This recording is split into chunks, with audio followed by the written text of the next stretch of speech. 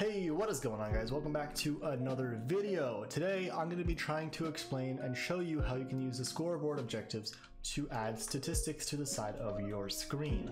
So this might be useful if you want to uh, track live statistics as um, you're playing the game. So if we just go over here, as you can see, the blocks mined scoreboard is at 3377377, 3 million basically. And if I go and mine this block, it'll go up to uh, plus one minus one plus one.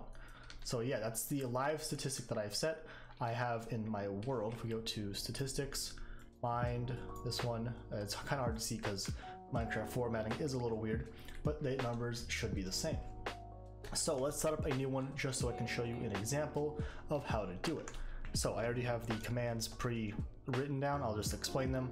They're a little hard to uh, understand if you're not too familiar with how they work, but what you want to do is have cheats on or have a LAN enabled world with cheats enabled. This allows you to use commands because I'm pretty sure these are considered cheats. I'm not sure how, but they are. So if we go to the very top of my clipboard here, you'll see slash scoreboard objectives add, and this is where you would make your uh, name. So let's say I want to use sword swing uh, you can name it whatever you want. I'm going to call it Sword Swing. Make sure they're all um, one word for the name. And then uh, the criteria for your thing. So I want to do slash, uh, I believe it's use. It's kind of hard to think here. Uh, picked up? No. Minecraft.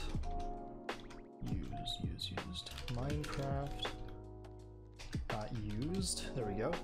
And this category allows you to um, basically log how many items you use. I believe this counts as placing them or right clicking on a certain function. So Minecraft slash used Minecraft dot, and then we'll use uh, diamond pickaxe, diamond underscore pickaxe. There we go, as you can see and then we do slash, uh, we do enter, and then that'll create the objective sword swing or whatever you called it. Next, you want to go ahead and um, uh, set that to whatever you want. So let's set the uh, sword swing objective that we just made to zero. So it'd be slash scoreboard players set your name or at P or whoever you want to set it towards uh, the name of the objective, and then whatever score you want to be at. So that'll be the big number or small number uh, right next to your name on the scoreboard objective as you see on the right side. So let's set that as zero. Next, you want to have the scoreboard being shown. So uh, you want to go ahead and set the display. So it's slash scoreboard objective slash set, and then for wherever you want to have it, you can put it in a bunch of different uh, categories now let's just go all the way to the end here, just so you can see all of them. We have below name, list, sidebar. This is my personal uh, favorite because I can see it at all times, no matter what I'm doing, or whatever else we got here. I believe if you have uh, multiple, you can have um, several at the same time.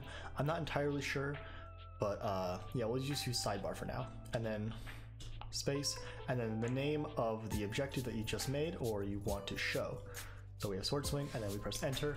And as you can see, we now have a sword swing objective on the right side. And if we grab a netherite sword, I believe, or I mean a diamond sword, I believe, that I uh, had set up here. And then we go ahead and go over here to the funny place and we oh, hit the cow. That didn't work. It's because clearly if I I use a diamond pickaxe because that makes sense because I'm actually very, very illiterate. I meant to use a. Ignore that. Ignore that for now. We'll pretend like that didn't happen. So yeah, if we just go over here and mine sand with a pickaxe as any normal person would, you can see the number goes up because you're using your sword swing, obviously.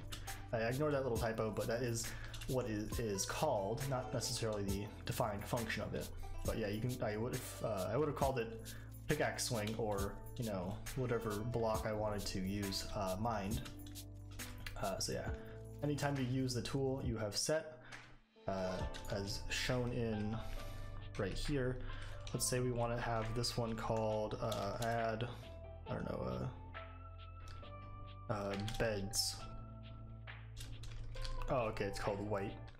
White underscore bed. There we go, and then we just want to set that display to zero. So beds zero, Minecraft. Set display, objectives, add set display, beds. There we go. So now we use the bed, we place the bed, the bed goes up. Sleep in the bed, break the bed, place the bed, repeat process until you have as many beds placed as you want. It's a pretty great system, I do say so myself.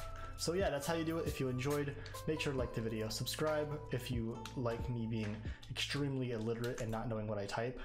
Uh, and with that, I'll see you next time. Have a good day. Bye.